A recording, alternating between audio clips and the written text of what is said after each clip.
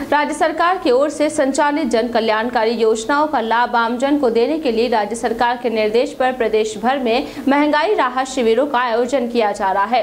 स्थानीय प्रशासन व नगर परिषद की ओर से ब्यावर शहर तथा ग्रामीण क्षेत्रों में इन शिविरों का आयोजन किया जा रहा है। शहरी क्षेत्र में प्रशासन की ओर से वार्ड वार्ड शिविरों का आयोजन किया जाकर आमजन का विभिन्न योजनाओं में पंजीकरण कर उन्हें योजनाओं के गारंटी कार्ड दिए जा रहे हैं। नगर परिषद प्रशासन की ओर से वार्डो के साथ साथ स्थायी शिविर लगाए गए हैं, जहाँ पर किसी भी वार्ड का कोई भी व्यक्ति अपना पंजीयन करवा कर गारंटी कार्ड प्राप्त कर सकता है।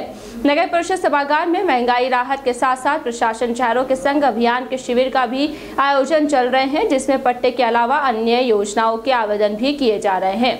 शिविर में आने वाले व्यक्ति के जनाधार कार्ड के आधार पर पेंशन, चिरंजीवी बीमा योजना, उपचार, अन्नपूर्णा फ़ूड पैकेट तथा बिजली के बिल के आधार पर 100 यूनिट फ्री बिजली प्राप्त करने के लिए पंजीयन कर गारंटी कार्ड दिए जा रहे हैं। शहर के मध्य में स्थित नगर परिषद सभागार में आयोजित शिविर में बड़ी संख्या में शहरवासी पहुँच रहे तथा अपना पंजीयन करवा रहे हैं। परिषद प्रशासन के अनुसार 24 अप्रैल तक राहत शिविर में छियालीस हज़ार आठ सौ बत्तीस परिवारों के एक लाख इकसठ हज़ार पाँच सौ अड़तालीस गारंटी कार्ड जारी किए जा चुके हैं।